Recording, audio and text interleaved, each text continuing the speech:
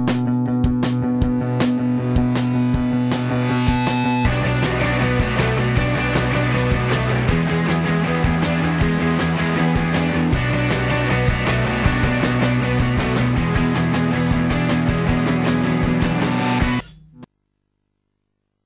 Buonasera e benvenuti al TG Prato. L'ondata di maltempo che si è abbattuta sulla Toscana all'ora di pranzo non ha risparmiato il Pratese. I comuni Medicei, Poggio, Caiano e Carmignano sono i più colpiti, soprattutto come Ana, la zona che porta alla stazione di Carmignano. La strada è rimasta chiusa per tutto il pomeriggio a causa degli alberi che sono caduti anche intorno alle macchine. Per miracolo nessuno si è fatto male. Servizio.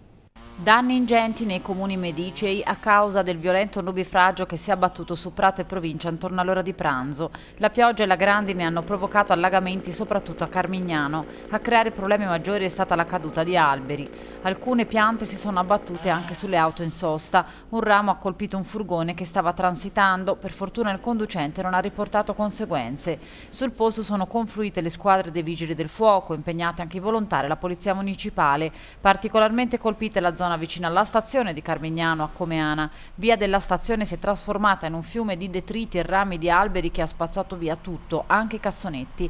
La forza del vento ha sradicato e abbattuto decine di alberi, molti dei quali finiti sulla strada. Solo per miracolo non ci sono feriti. Il racconto di Cristiano Ballerini, proprietario di Villa Vittoria, che pochi secondi prima del nubifragio era sulla strada in attesa della figlia piccola, portata a casa dallo scuolabus. Praticamente si è visto un vortice enorme e quando si è visto questo vortice eravamo qui con la macchina e ci siamo veramente impressionati perché è stata una cosa allucinante, ci siamo anche un po' riti. Ecco, lei era sulla strada perché? Perché aspettavo mia figlia che da col pulmino che doveva arrivare da, da scuola praticamente. Possiamo parlare di tragedia sferata? Sì.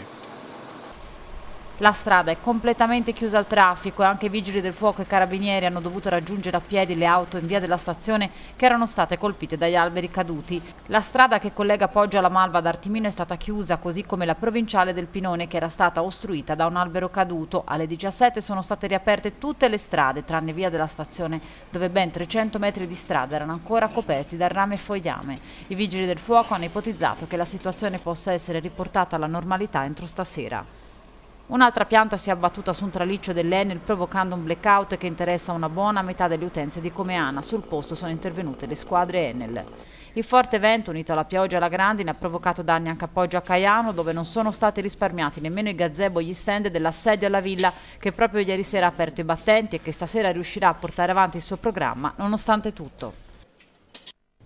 Un cinese ancora da identificare è stato ferito a colpi di arma da taglio in via dei Pali. L'uomo è stato notato ieri sera da una connazionale che ha subito dato l'allarme facendo intervenire le ambulanze e la polizia. La testimone ha raccontato ai poliziotti di aver visto il connazionale a terra sanguinante ma di non conoscerlo e di non sapere cosa possa essere accaduto. Il ferito invece non aveva con sé documenti di identità e non parlava italiano. L'ipotesi è che possa essere rimasto vittima di un tentativo di rapina, poi degenerato. Palla grossa dall'arena alle aule di tribunale, guerra suon di carte bollate per via delle vicende legate al mancato pagamento dei fornitori dell'edizione dello scorso anno. Ha seguito per noi la vicenda Nadia Tarantino.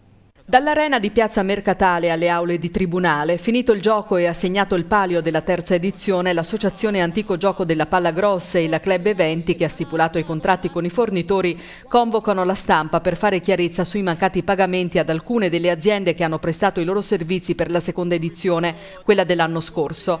Claudio Belgiorno, vicepresidente dell'associazione, e Massimo Spinuso, amministratore della Club Eventi, sono arrivati accompagnati dal loro avvocato Gianna Posillico e hanno dichiarato guerra guerra con tanto di querele, pare sei, alle vicende degli ultimi giorni. Poi hanno spiegato perché alcuni fornitori non sono stati pagati. L'anno scorso è successo che l'evento non, non, si doveva fare perché c'erano grossi problemi rilevati dalla Commissione Comunale Pubblico Spettacolo che ha esposto diverse denunce sugli organizzatori e anche su noi dell'associazione. Da lì è nata una serie di provvedimenti anche che hanno riguardato i fornitori e da lì è nato proprio, ci sarà un processo, vari processi che eh, dichiareranno le responsabilità dei lavori dell'anno scorso.